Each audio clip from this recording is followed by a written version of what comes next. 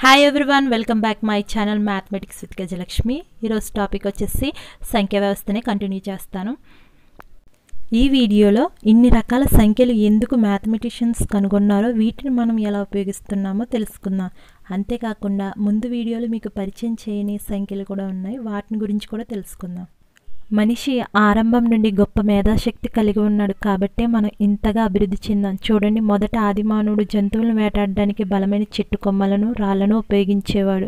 క్రమంగా నిప్పును కనుగొన్నాడు. నిప్పును ఉపయోగించి వంట చేయడం మొదలుపెట్టాడు. ఇలా ఎన్నో ఆవిష్కరణలు ఆదిమ కాలం నుండి మనం కనుగొంటూ వచ్చాం. మన అవసరాలను తీర్చుకోవడానికి సౌకర్యంగా జీవించడానికి ఇలా క్రమక్రమంగా ఎన్నో కనుగొంటూ వచ్చాం. ఆ క్రమంలోనే మన గణిత శాస్త్రం కూడా ఉద్భవించింది. మొదట ఆదిమానవుడు రోజులను లెక్కించడానికి తాను నివసించే గుహల మీద గీతలు గీసేవాడు. అలాగే ఇతర వాటిని లెక్కించడానికి రాళ్ళను ఉపయోగించేవాడు. అంతేకాకుండా జంతు ఎముకలపై గీతలు చెక్కేవాడు. ఆ విధంగా ఆదిమానవుడు రోజులను లెక్కిస్తే ఆ ఆవిష్కరణలను ఆధారం చేసుకుని క్రమంగా ఒకరి తర్వాత ఒకరు అనేక మార్పులు చేర్పులు చేసి గణిత శాస్త్రాన్ని అభివృద్ధి చేశారు.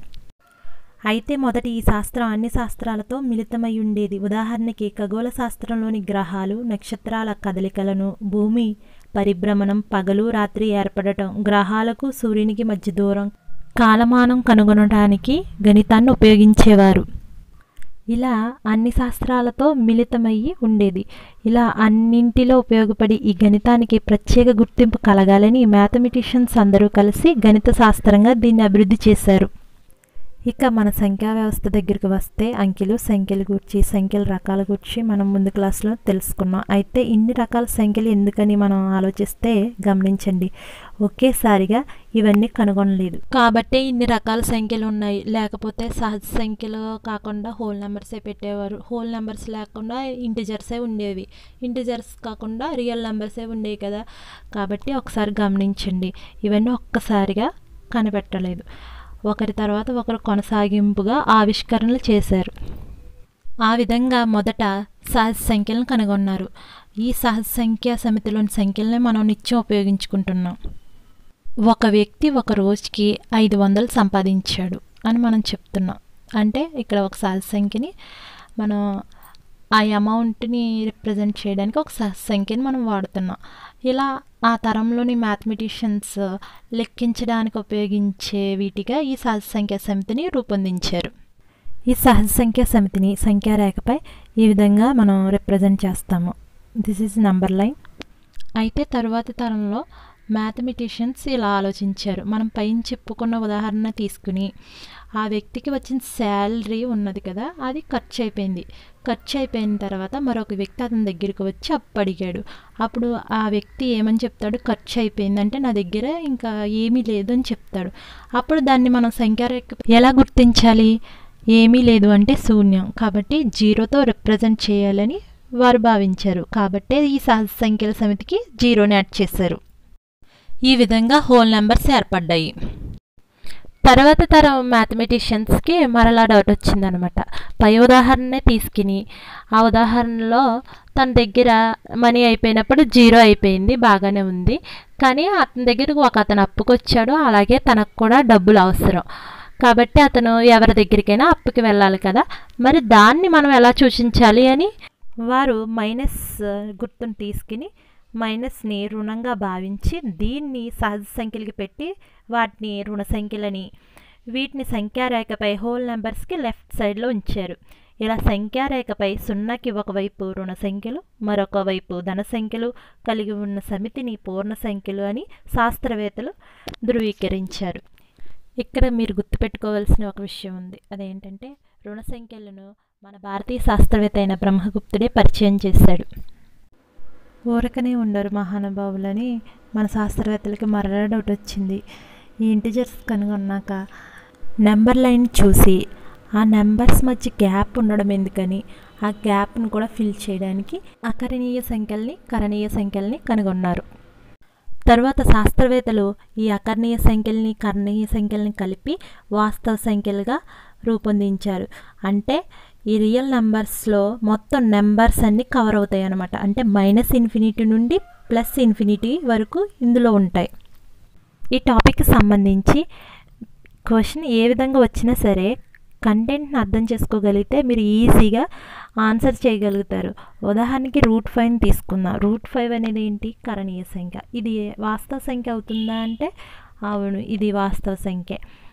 అలాగే అకర్ణీయ సంఖ్య అవుతుందా? అవ్వదు. ఎందుకంటే దీన్ని పీ బై క్యూ రూపంలో మనం రాయలేం కాబట్టి. ఉదాహరణకి మరొక సంఖ్యను చూద్దాం.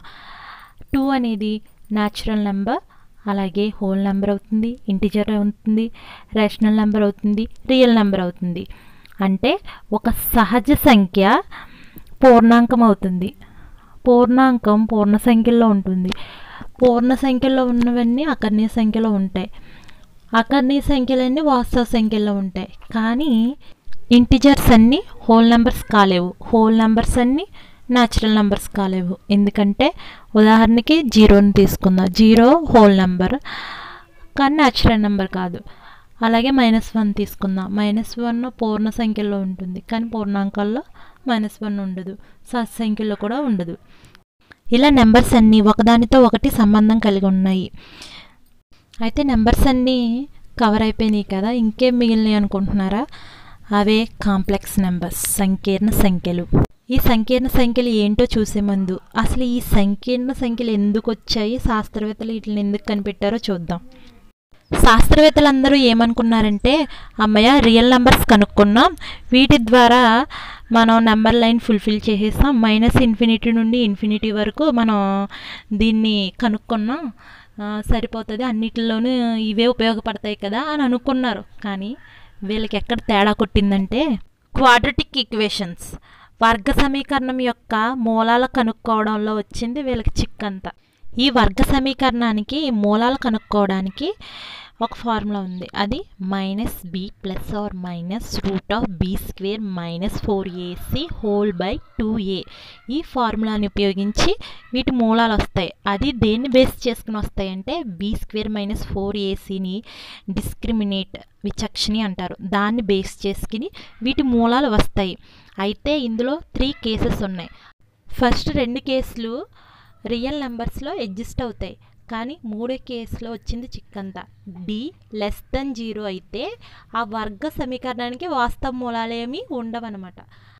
అంటే ఈ రియల్ నెంబర్స్లో ఏ నెంబరు అడ్జస్ట్ అవ్వదు నెంబర్ లైన్పై కాబట్టి దీనికి సొల్యూషన్ తీసుకురావడానికి ఈ కాంప్లెక్స్ నెంబర్స్ కనుగొన్నారు. అంటే డిస్క్రిమినేట్ లెస్ దెన్ జీరో అయితే వర్గ సమీకరణానికి వాస్తవ మూలాలు ఉండవు. వాస్తవ మూలాలు ఉండవంటే ఈ రియల్ నెంబర్ లైన్పై ఉండవు. అందుకు శాస్త్రవేత్తలు ఏం చేశారంటే దీనికి వెర్టికల్గా ఒక లైన్ గీసి దాన్ని కల్పితాక్షమని దీన్ని వాస్తవాక్షమని అంటే నెంబర్ లైన్ని ఎక్స్ అక్షంగా ఇమాజినరీ లైన్ని వైయక్షంగా తీసుకున్నారు. ఈ ఎక్స్ అక్షం వైయక్షం ఈ విధంగా కాంప్లెక్స్ నెంబర్స్ కనుక్కోవడం వల్లే వచ్చినాయి. ఈ సంకీర్ణ సంఖ్యలు ఏ ప్లస్ ఐబి రూపంలో ఉంటాయి. ఇక్కడ I is equal to root of minus one I means iota A comma B belongs to R ఇక్కడ ఏను వాస్తవ భాగమని బీని కల్పిత భాగమని అంటారు. వాస్తవ కల్పిత సంఖ్యల సమ్మేళనాన్ని సంకీర్ణ సంఖ్యా సమితి అంటారు. ఈ సంకీర్ణ సంఖ్యా సమితిని సితో సూచిస్తారు. అలాగే సంకీర్ణ సంఖ్యను జెడ్ అనే అక్షరంతో సూచిస్తారు. దీని ఆధారంగా మనం తెలుసుకున్నది ఏంటంటే వాస్తవ సంఖ్యా సమితి అసమగ్రంగాను మరియు అసంపూర్ణంగా ఉందని భావించి I square is equals to minus one అగునట్లు I అనే చిహ్నాన్ని ఆయిలో ప్రవేశపెట్టాడు. దీనివల్ల సంకీర్ణ సంఖ్యలు అనే కొత్త భావన శాస్త్రవేత్తలు తీసుకొచ్చారు. మనం ముందు తెలుసుకున్న నెంబర్స్ అన్నీ ఈ సంకీర్ణ సంఖ్య రూపంలో రాసుకోవచ్చు. ఏ ప్లస్ ఐబి రూపంలో మనం రాయొచ్చు అనమాట ఈ మొత్తం నెంబర్స్ అన్నీ కాంప్లెక్స్ నెంబర్స్లో అడ్జస్ట్ అవుతాయి. మనం ఉదాహరణకి ఒక నెంబర్ని తీసుకుందాం. మనం ఫైవ్ని తీసుకుని ఫైవ్ని ఏ ప్లస్ ఐబి రూపంలో రాయాలి. అంటే ఇప్పుడు ఇక్కడ ఏబీలు ఏంటంటే రియల్ నెంబర్స్ మనం రెండు రియల్ నెంబర్స్ కావాలి. అంటే ఫైవ్ని మనం ఎలా రాయొచ్చు? ఫైవ్ ప్లస్ ఐ జీరో అంటే జీరో కూడా ఒక రియల్ నెంబరే కదా. ఈ విధంగా ఏ నెంబర్నైనా మనం కాంప్లెక్స్ నెంబర్గా వ్రాయొచ్చు కాబట్టి మొత్తం ఈ నెంబర్స్ అన్నీ కాంప్లెక్స్ నెంబర్స్లో ఎగ్జిస్ట్ అవుతాయి అన్నమాట ఈ కాంప్లెక్స్ నెంబర్స్ కనుక్కోవడం వల్లనే మనం ఈజీగా స్పేస్లో రాకెట్ వేగాన్ని మెజర్ చేయగలుగుతున్నాం. అలాగే వాటర్ ఫ్లోని కరెంట్ ఫ్లోని కరెంట్ సర్క్యూట్స్లో రెసిస్టెన్స్ని ఓల్టేజ్ని కూడా మెజర్ చేయగలుగుతాం. ఇలా ఎన్నో రకాలుగా సైన్స్లో ఉపయోగించుకుంటున్నారు. ఇదండి కాంప్లెక్స్ నెంబర్స్ గురించి. మీకు నచ్చినట్లయితే లైక్ చేయండి సబ్స్క్రైబ్ చేయండి షేర్ చేయండి అలాగే కామెంట్ చేయండి. Thank you so much.